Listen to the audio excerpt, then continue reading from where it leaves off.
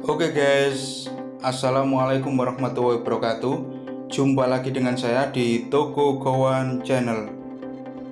Eh, Saat ini saya mau memperbaiki Mesin cuci ya guys ya. Mesin cuci Satu lubang Merek Electrolux EWT 705WN Cyclonic Care. Ini untuk beban 7 kg ya guys ya. Ini waktu di on off nyala. Nah waktu di start. E3 guys ini gangguan guys. Ada yang trouble guys. Ini perlu diperbaiki ya. Oke mari kita buka ya guys ya casingnya ya guys ya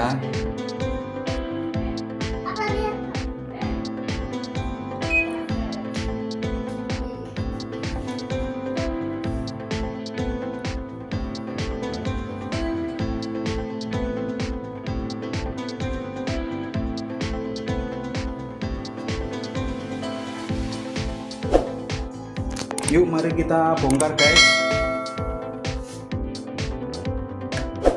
Ada baut empat ya guys ya di sini ya. Sisi kanan kiri sama belakang ya. Ini satu. Terus di belakang ada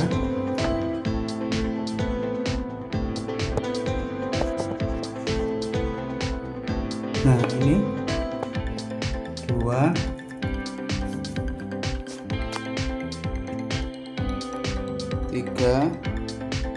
Terus belakang lagi ada. Nah sini. Nah empat. Yuk kita bongkar dulu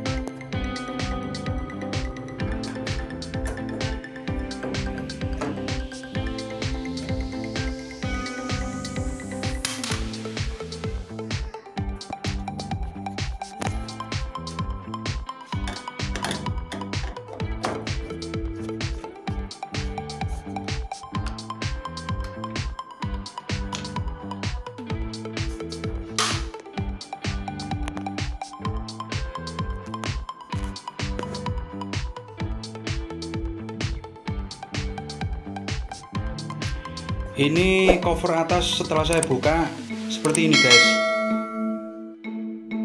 Nah ada baut tempat yang bukanya ya. Samping sini samping sini satu samping sini satu terus di belakang satu satu satu. Berarti total semuanya belakang sama depan empat bautnya lalu covernya. Dibuka lagi guys.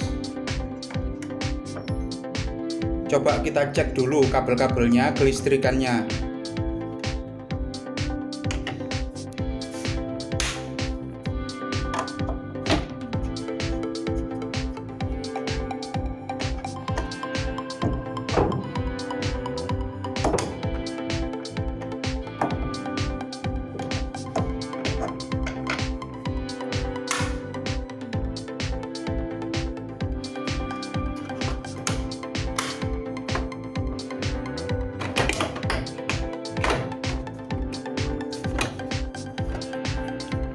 Oh ini ada baut lagi guys di bawahnya guys.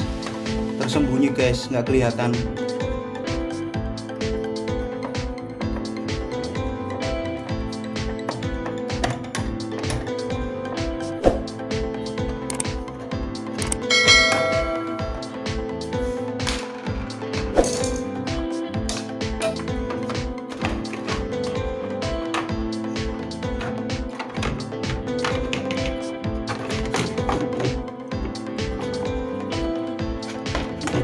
ini ada ada lubangannya untuk kabel-kabel ya guys ya. Hati-hati bukanya ya guys ya. Nah sudah bisa lepas. Nah. Ternyata eh ternyata di dalamnya ini kabelnya dikerik dikerikiti tikus guys nah guys nah ini harus disambung dulu guys nah.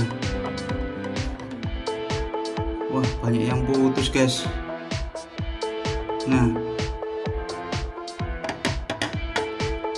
Kok bisa ya padahal tertutup rapat ya ya ini menyebabkan error E3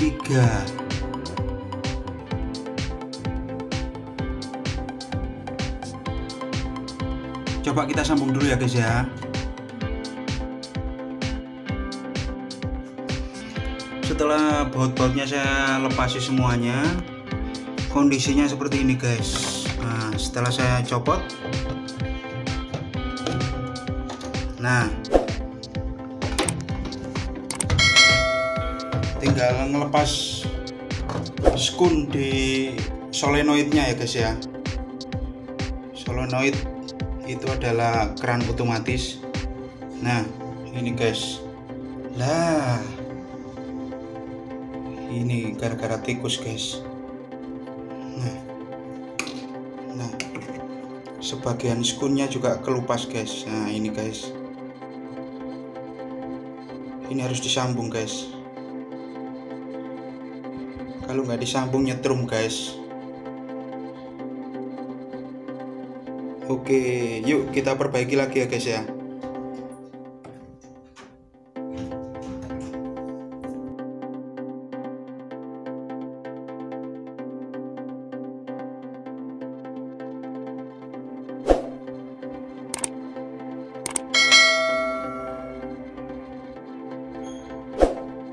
ini proses penyambungan ya guys ya. Proses penyolderan supaya nggak ngefong ya guys ya kabelnya ya. Nanti selanjutnya.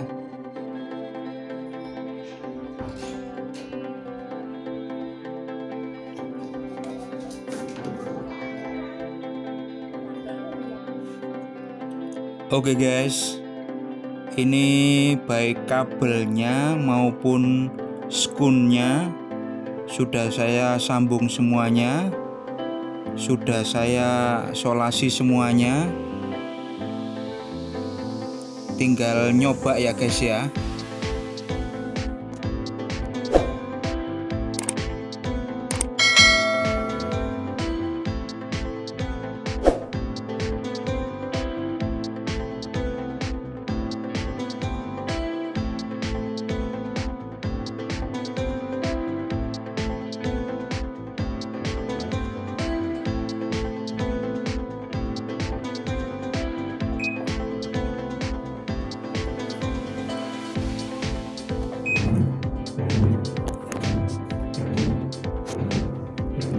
dan akhirnya indikatornya sudah tidak error E3 lagi guys.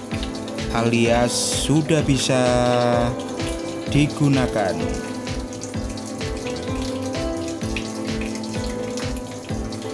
Oke sekian dulu dari saya. Wassalamualaikum warahmatullahi wabarakatuh. Semoga bermanfaat. Sampai jumpa lagi